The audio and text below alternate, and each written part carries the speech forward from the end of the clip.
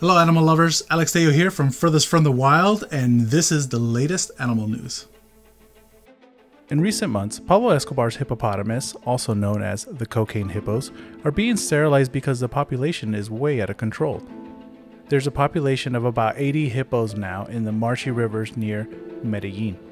Hippos can live 40 to 50 years. They are native to the sub Saharan Africa they weigh between 3,300 to 4,000 pounds and can reach speeds of 30 miles per hour on land.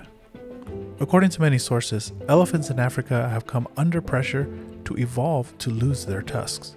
According to the journal Science, between the years of 1972 and 2000, elephants born without tusks, almost all females, tripled in number. In Gorongosa in the 1970s, 18.5% of female elephants didn't have tusks. Now that number is 51%. Analysis from the study revealed that tuskless elephants are five times more likely to survive. Thank you again for watching the Furthest from the Wild news report.